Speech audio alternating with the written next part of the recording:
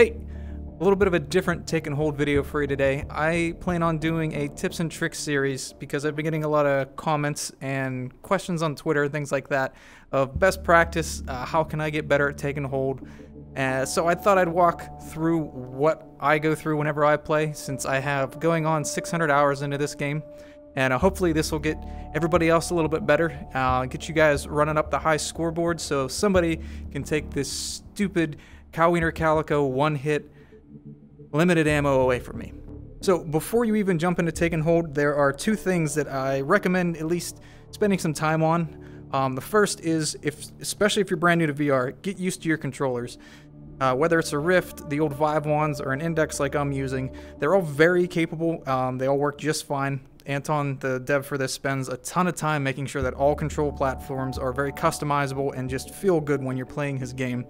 Um, but you want to have a good understanding of how your controllers work with all of the weapons. So spend some time in the indoor range, the sampler platter, the uh, friendly 45 range, and just mess around with some guns and make sure you know generally what the controls are, because it's a super important thing whenever you're taking out SOSIGs. The second thing is to make sure you know what locomotion method you're comfortable with. H3VR has a ton of options. I personally use arm swinger. I've put a lot of time into VR though, so it's not for everybody.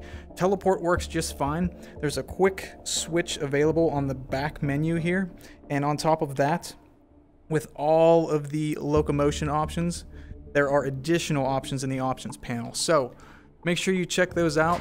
Um, there's a really nice arm swinger uh, overview by Bassem, I believe. I'll put the link in the description. So make sure you check that out. Um, and again, spend some time elsewhere in the game or just don't take it too seriously if you are in take and hold and use that as a chance to figure out what works best for you.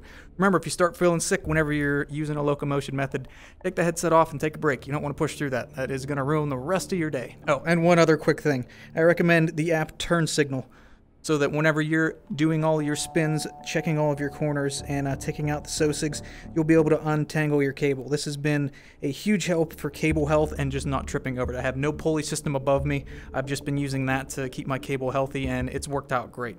Okay, so we're going to jump into the options real quick. Again, if you're just getting started, I feel that the best places to be would be in some of the classic loadouts or the more moderns between Operator Ori, SOF Frankie, um, classic loadout Lewis is a little bit older, but still works. Um, all of those are really good. They give you a nice, understandable set of weapons that don't have any kind of crazy controls. Um, the other one is Ricky Dicky Random. Ricky Random is really nice to help teach you all of the guns in the game because you can literally roll any of them. So I wouldn't expect to do so well if you pick Ricky, but if you're if you want to challenge yourself and learn some new weapon platforms, he's the one to go with. So yeah, we're going to go with Operator Ori. We're going to stay on 5 hold standard so that I'm not playing all evening. Uh, the equipment mode, definitely start in spawn lock so that you can understand it just it's a lot it's a lot more forgiving. And uh, health mode, standard is okay. You can take a lot of hits. You're going to take a lot of hits until you really understand the AI. If you have too many issues still, there are several other options available here. These just disable the leaderboard. You won't post a score past that point. So that is there for you if you need it. The AI difficulty, I really, really think that the standard one isn't that bad. Again, I've been playing for a long time, but um, it's good to just learn how they act in that sense. So I would put that on standard. And radar detect, I feel personally that it is not worth having that on because it's more distracting to have to look down to that uh, rather than just listen to where they're coming from. So you can use that information the sounds that they make when they're they're talking or they're walking into the doors, where the SOSIGs are, and it's pretty much easy from there. If you don't really have a good audio solution, you might want to look in putting the radar on, but otherwise they make a lot of noise, so you could hear them coming from a mile away. And as for these bottom options, I'm going to leave those as is. The item spawner is available, but again, it disables the leaderboard. So if there's a specific gun that came out that week, something you want to try to get better at in a combat situation or learning the best way to reload it, uh, you can just do that real easily by selecting that, and you'll have it right in that first hold when you spawn in. So we're just going to get going with where we're at. Well, my score is terrible here, 26th. Let's go. Uplink successful. Target system detected. Take it. So I'm just going to kind of talk while I play here. Health weenie, absolutely always take. We can check our health up there or the outside of the radar. For our melee weapon, I always suggest sling locking that. That is the touchpad or joystick pressed in while hovering over the quick belt slot that it's in so that you cannot drop it. I don't do this with my weapons typically because I don't find it as fun. But uh, if you're just starting out, I definitely recommend it because you're never going to lose that either into the abyss or in the middle of a gunfight. So our opening weapon, not terrible. Mag-fed pump shotgun. Kind of weird, but fills the shotgun role, which is really nice to have in every run. So we can see that we're already coming up on the first hold up here. We're going to have two enemies in the first hold, and then one to two at that blue supply point. And that's going to be it on the map for this opening bit. Stunned him. We got those new shotgun sounds. Thanks, Anton.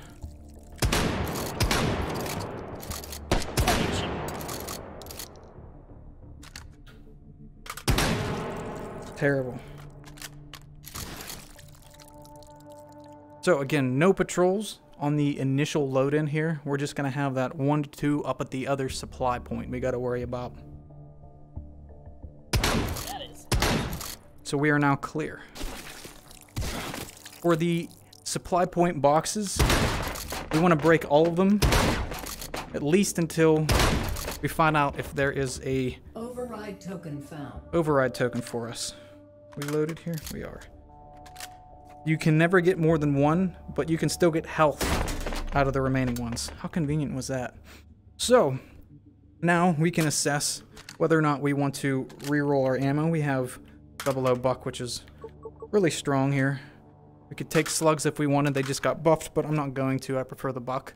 And then we can decide if we want an actual weapon roll. So we have a shotgun. That roll doesn't need filled anymore. What we're lacking right now is mag capacity and uh, fire rate, I'd say, as well. Pistol is going to fill that quite well. So I'm going to take the one-point pistol. Not the best, but at least we got one of the higher capacity ones. I'm not a fan of the Deagles. They recoil a bit too much for me. So, but the reason that we want to have something that can fire fast and accurately is the nodes that will pop up once we start this. So once I hit this, we're going to get some uh, square cloud looking bits. Those are going to be the possibilities of where the nodes will spawn. When those nodes spawn, they are your number one priority because the quicker you take them out, the higher your score is going to be. You still get points for killing Sosigs, more if you shoot him in the head, but if you clear those nodes, you're going to have a higher score come the end. That's the biggest factor as far as I've become aware of. So before we get started too, we're going to assess where the hold is. If it's your first time, you'll kind of learn where the barriers are going to be. Right here, that door is going to be blocked off. We won't be able to pass this. And then anything past this door here, we will not be able to come past. We'll have Sosig spawning from there, from in that room, coming out here, and then back in that room. So we need to find a place to hold.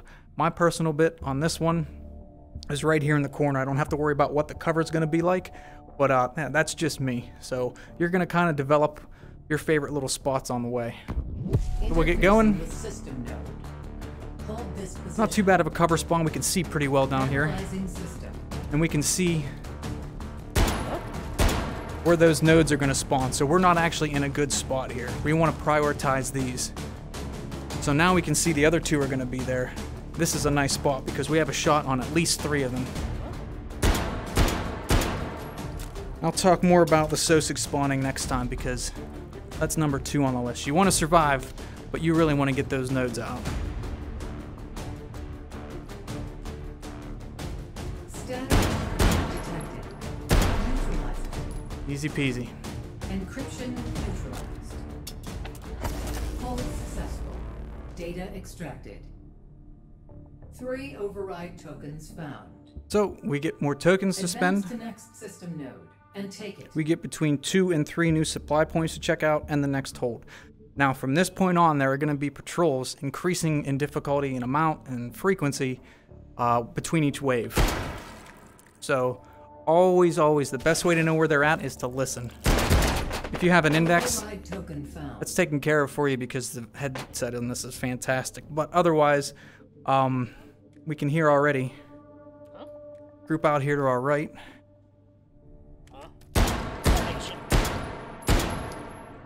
Always. And that goes for when you're holding as well. You can hear what door they're going to come out of. Did I miss one? I don't know if he died or not. You will know what door they're coming out of, which means you have the advantage. So always, always, always play around the sounds they make. They're very loud. Uh, we can check ammo again. It really isn't necessary. Again, I have the buck. We got flare. Uh, shotgun, not going to worry about, and I'm not going to bother re-rolling these just yet because we have one more supply point to check. It looks like we might have got either this room up here or yellow. No, it's not yellow basement. And we have this room on the other side of this wall for our hold. So again, we can always hear them. If you sit around and wait for a second, they'll usually talk. When they're inside here, they're not going to make as much noise as if they're moving around. So, but again, you're going to kind of learn where they spawn at. Override token found. To make it a little bit easier. Oh, we aggroed one of them. You can always know when they're coming after you. And if they do see you, fall back until they de-aggro. They'll fire a few times, they'll talk. Then they'll go back to a, a calm state.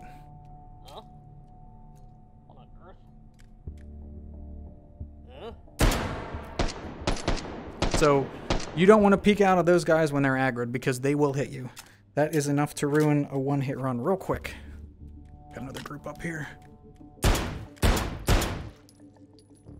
So, I don't want a bolt action. I think we're a little bit past that already. Pistol, we have 3-point SMG. Nice, we're filling a new role. Not really the best role that we got there, but it'll work. Melee I'm good with. Put this on full and have some fun.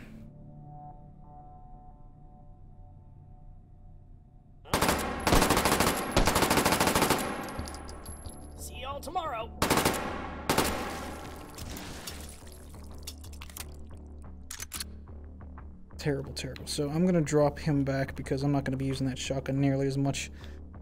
Keeping your belt organized and coming from me, this is terrible. This is like hypocritical because my belt is always a mess because I have too many guns on me. But make sure you know where your magazines are.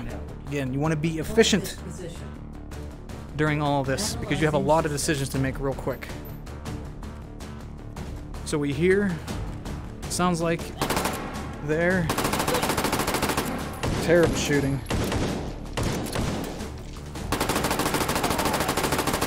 I am not the best with this weapon.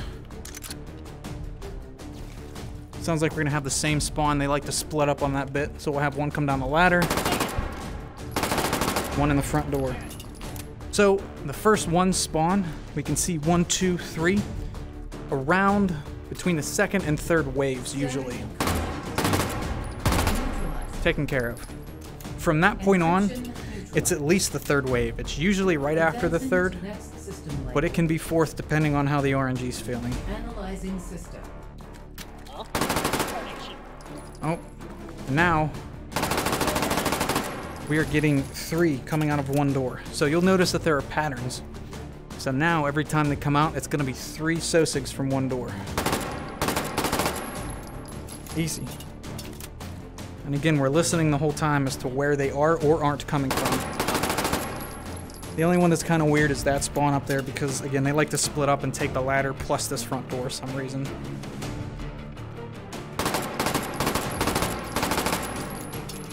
Again, check our spawns, one, two, and they don't always spawn one, but you have an idea of where they can spawn. Two waves for the second hold. That's going to be it for there. Nice and easy. Override tokens found. Advance to next system node and take it. So I'm going to cut that one here.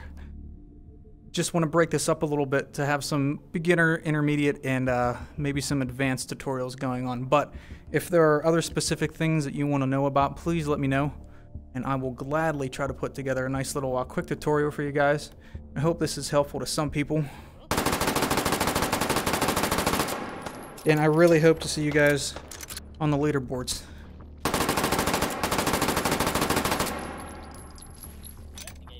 Take it easy.